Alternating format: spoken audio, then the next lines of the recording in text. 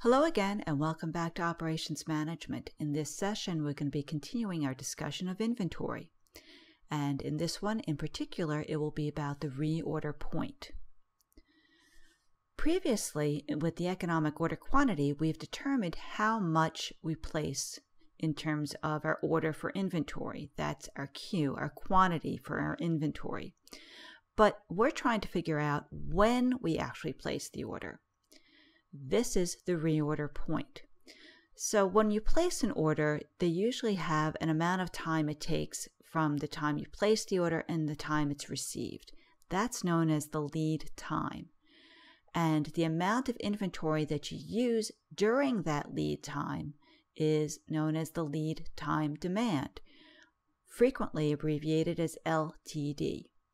And in very simple situations, the reorder point is just equal to the LTD, which is the amount that we use from the time we place the order to the time it's received.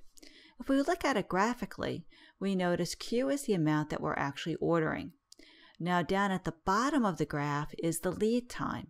We've placed the order at some point t, and then it's going to arrive sometime later.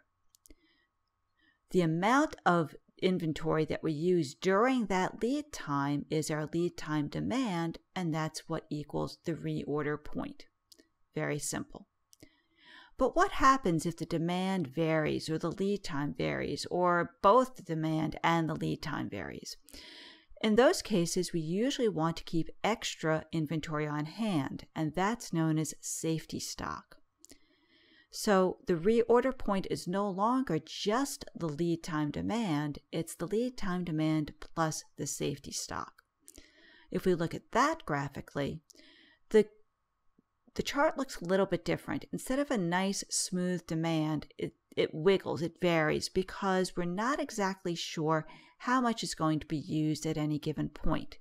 We still have a lead time, so we have an expected lead time demand how much we think we're going to use during that period of placing the order and it's being received. But notice we don't let it go all the way down to zero. Instead, we have that yellow line there, and that's known as the safety stock.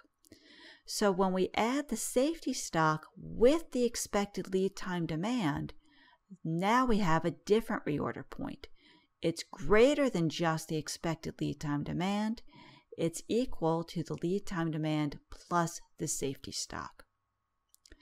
So in very simple situations, the reorder point is the lead time demand, but if there's some sort of variation in the demand or the lead time, we're adding in safety stock to the lead time demand to get to that reorder point. Now, the next question, of course, is how do we know how much safety stock to keep? Well, that's what we're going to do in the next session. I'll see you then.